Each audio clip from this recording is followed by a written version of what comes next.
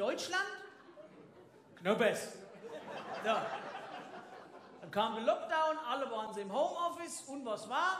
Morgens halb zehn in Deutschland, Aperol Spritz. Ja? Der Fahr, Schlittenfahr durch die Winterwelt. Unser Pferdchen hopp, hopp, hopp, zieht uns durch Wald und Feld.